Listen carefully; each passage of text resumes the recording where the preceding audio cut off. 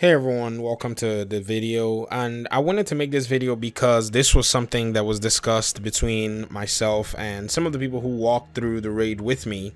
And one of the very funny things that I discovered was I tried to go open the chest for the eagle bearer and it said I had four out of five keys. And so I talked to everybody. I said hey did I miss a key somewhere? Because I remember running this raid. I'd, I'd run the raid three times uh, all the way through eagle bearer that day and then finally beat it on the third time. And I said, Did I miss a key somewhere? And they were like, Oh no, the Razorback key is actually a 50% drop rate or something like that. and I was like, What?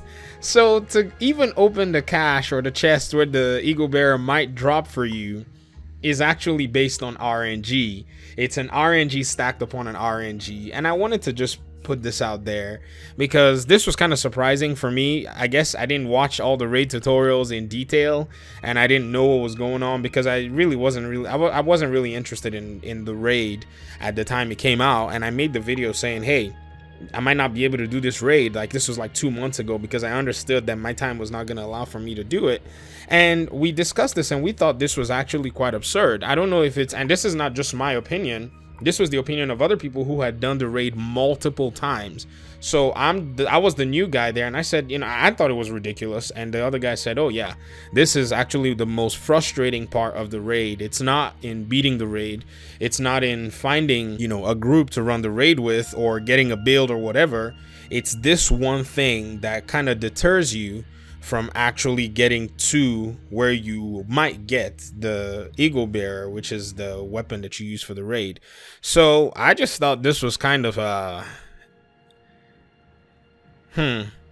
I don't know what word that i can use that would that would sum it up for me. I could use a petty word like stupid foolish pointless. I just don't feel like those words are strong enough and you know i see no reason why it's done you know. It's it's okay it's it's okay to actually have some kind of rng like a very low drop percentage for the weapon itself but then to put another barrier that will force a player to actually come back another week later in my opinion just seems like it has no need being in the entire system.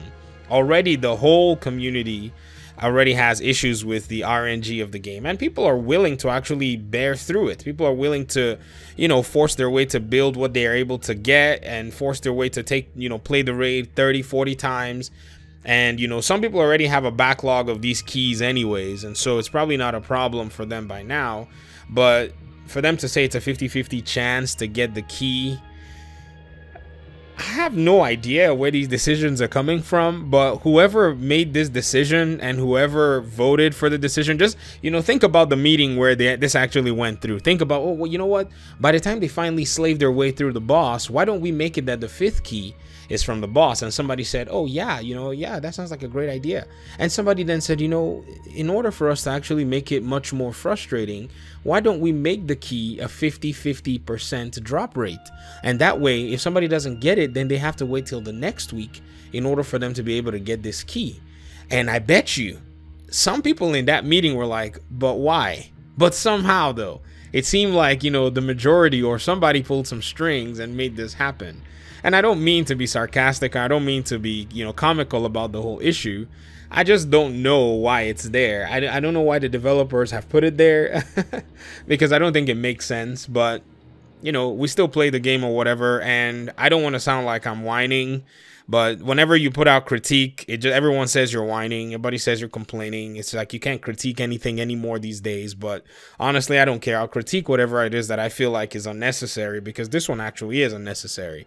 There is no need for a 50-50 drop rate from key number five before somebody can open a chest that has a what is it 1% 0.1% or 0. Point whatever percent for them to be able to get the eagle bearer uh, okay, whatever. My opinion is spoken, and I can almost guarantee that there are a lot of people in the community that feel the exact same way. All right, I'll get out of your hair. I just promised uh, one of our my uh, buds over here that walked through the raid with me that I was going to actually bring this to light and address the issue uh, because it's something I never really knew about, and just you know implore the developers to change it I mean, that's what they can do. They can change it. Let it be a guaranteed key drop so that people can actually have a guarantee to the chest and have that guarantee of, you know, the 0.1% or 1% drop rate. Because if you add that 50 50% to the probability, you've actually skewed the RNG and lowered the possibility of anybody ever getting this so-called uh, exotic weapon. All right, that's all I have for today. Thank you very much for your time and your audience. Um, I guess I'm out. Peace.